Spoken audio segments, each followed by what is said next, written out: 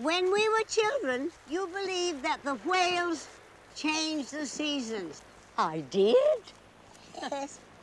Father told you that the whales caught the wind with their tails and brought it down from the Arctic. And I believed him. Yes, you did.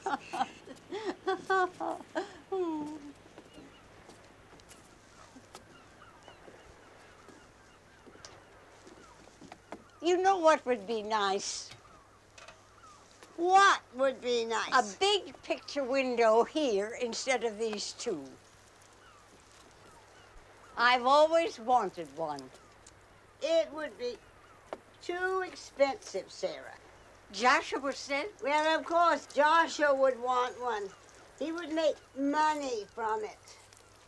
Besides, Sarah, we're too old to be considering new things.